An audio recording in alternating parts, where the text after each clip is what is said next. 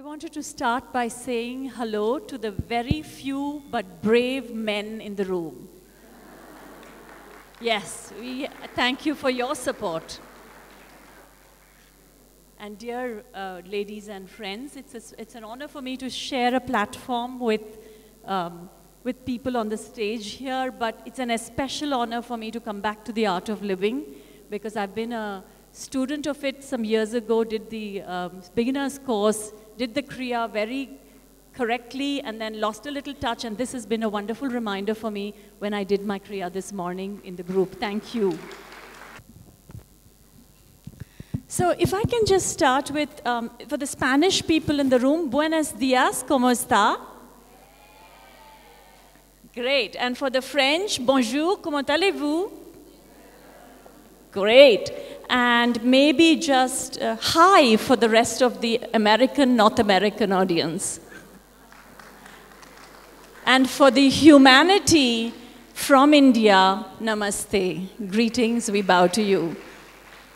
So, what does this do, right? My first principle in, in my few opening remarks was going to be women can become global citizens by using technology.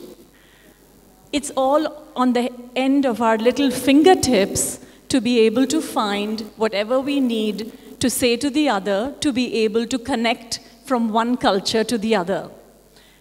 And I wanted to say that why did there just become a few, you know, sort of a quick reaction of friendliness in the room?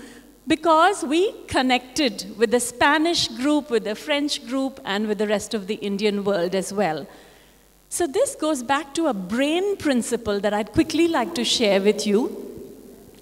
The brain, according to scientific uh, study, the man's brain and the woman's brain, you can actually tell them apart right? The woman's brain has a different chemical in it. It's called oxytocin. And what does oxytocin do? It likes to form. What do we like to do? Bonds. Yeah, we are the bonding type.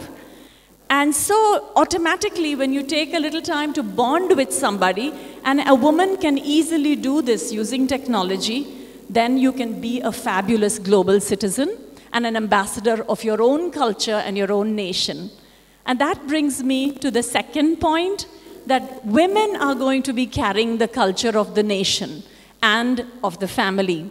So it is up to us to use technology to do exactly that job that we were set out to do. Why? Because again, going back to the woman's brain, we are natural multitaskers. If you look at the woman's brain and a man's brain, the wires in a man's brain go from point A to B to C to D usually.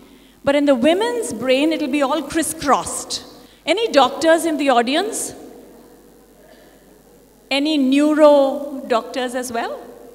I'm saved. I can say whatever I want and get away with it. But you can go check this research. It was taught at Harvard by the chair of the Women's Leadership Board that it is the women's brain that is crisscrossed. So what happens when a man's, a man's brain can often go into rest mode, can really rest. But a woman's brain, even in rest mode, what's it doing? Bzz, bzz, bzz, That's how we are. So, yes, applaud yourself. Even when you're resting, you're working. So, what happens when you meet a man and you ask your husband, So, what are you thinking? And he's saying, Nothing. And you're saying, Nothing. I know what you're thinking. You don't want to tell me. Hey, hey, men's brains can actually think nothing. And, and, and I don't mean this and I don't mean this in any disrespectful way at all. I want you to know I have the highest respect, right? And this is, now I'm saying it's a scientific dawning. So if nothing else happens, leave this hall today and believe your husband, partner, significant other, brother when he says, I'm thinking nothing.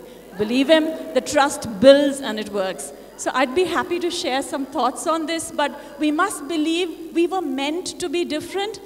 But then came along wonderful guru like Sri Sri Ravi Shankar ji. He taught us that Ardhanarishwara is what we are, right? We have half man and half woman qualities in every one of us. But let's take advantage of the woman qualities such as multitasking and bonding with the help of technology.